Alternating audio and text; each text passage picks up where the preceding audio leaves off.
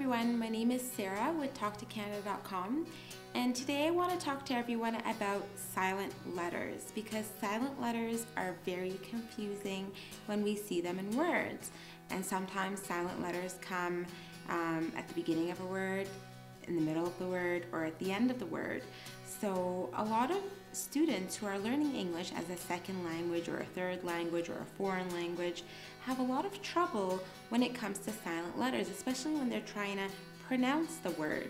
So, um, because of this, I thought, hey, let's give a lesson for silent letters and we'll talk about not all the words, but some words that have silent letters in them. And hopefully, um, this video will help you uh, pronounce words in English properly, including the silent letters.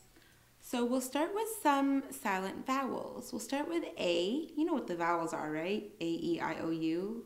You already knew that. It's in all my videos, I think. but um, A, E, I, O, U. Uh, we'll start with that. So we have A, um, and then we have some words such as aisle, team. So we say team is pronounced really as like an EE. Team. Spread. Boat. So here we have, there's no indication that there is an A in there. I know. But there is an A after the O. It's just not pronounced. It's silent. Um, we'll go on to E. So the letter E, great, sounds like an A-T-E at the end, but really G-R-E-A-T. Great, awesome. Heist. Heist sounds like it's just an I, but really there's an E before the I. So be careful, it is a silent E. Pie, mmm, yummy, I like eating pie. I'm so hungry right now. Toe. Toe is a body part on your foot and you can wiggle your toe. Um, and again, we don't hear the E sound. We'll go on to another set of E words that have a silent E. Um, but this time the E is at the end of a word. And in most cases in English, um, we usually never pronounce the E at the end of a word. Um, so for example, pale, uh, scene, lime. So you see there's an E at the end of each one. Stove. So we don't really pronounce the E when it's at the end of a word in most cases. Sometimes we do, so be careful. And then we have I. So here we have pale. No indication of the I. Um, receive sounds like two E's, but it's not. Just trying to confuse you learners. I know it. Uh, believe. So that's when you believe in something. I believe in you. You can do it. Uh, juice. Mmm, yummy. Okay, we have to stop talking about things that can go in your stomach right now. Uh, oh, people. People. Don't pronounce the uh, the O.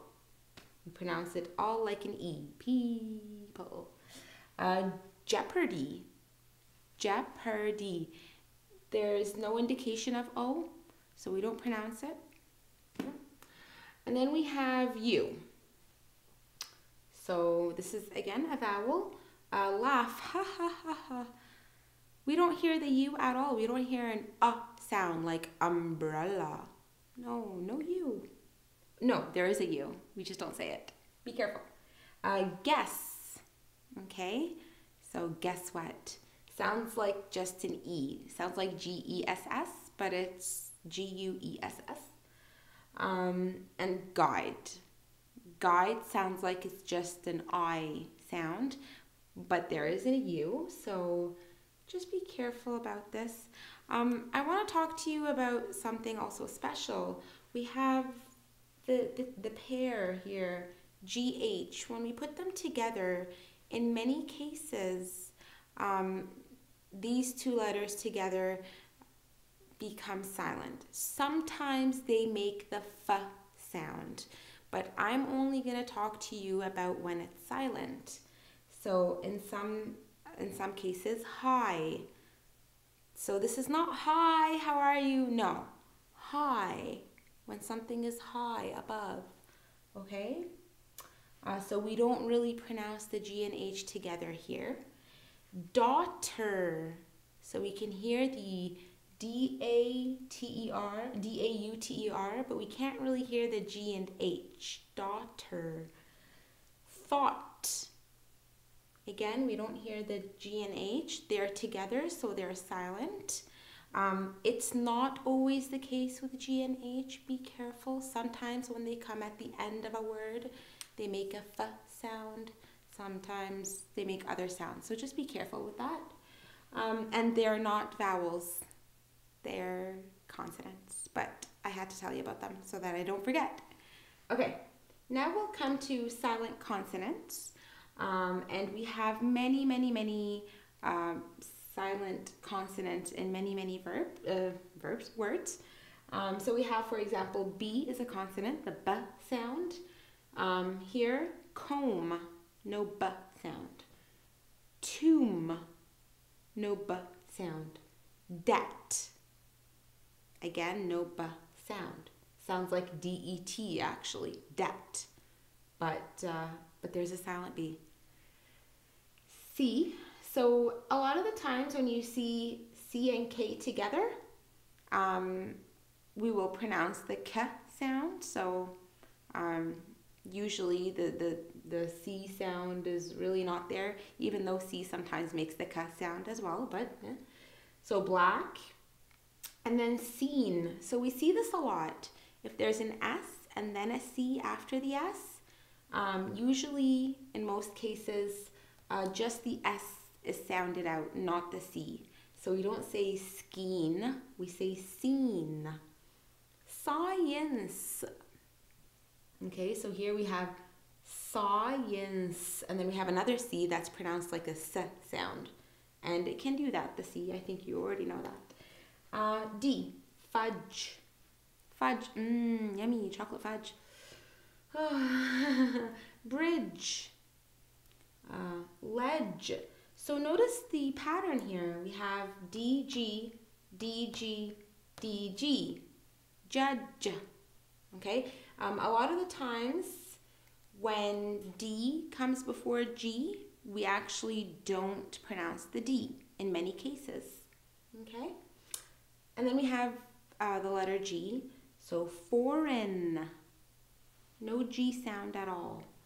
Sign no G sound, so sign like a stop sign or any type of sign. But be careful, it's not always the rule with G and N.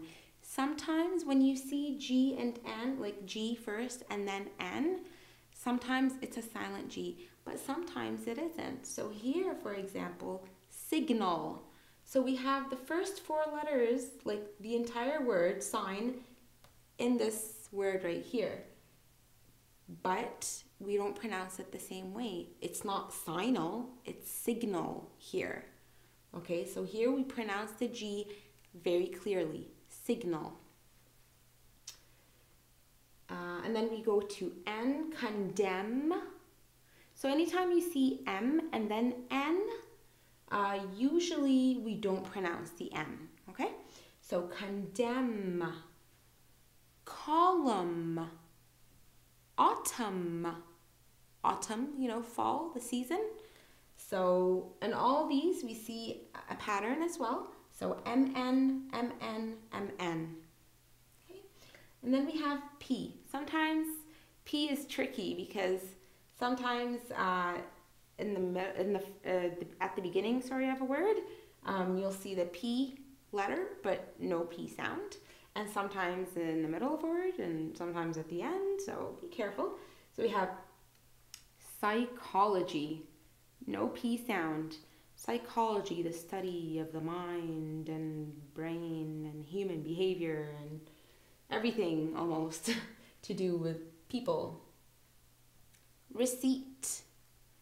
So here, receipt. Actually, here we have two silent letters, I and P, receipt. Okay? Um, and then pneumonia. Pneumonia. You don't want to get pneumonia. It's not good. Okay. Um, and then we have T.